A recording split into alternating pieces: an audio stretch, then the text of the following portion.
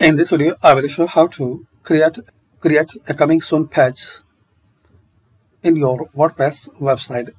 So search this uh, plugin under construction.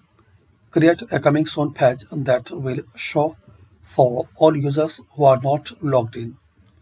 So just guys, you have to search and install and activate this plugin.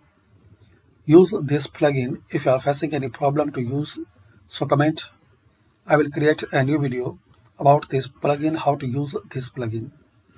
So thanks for watching and please share like and subscribe this channel for more useful videos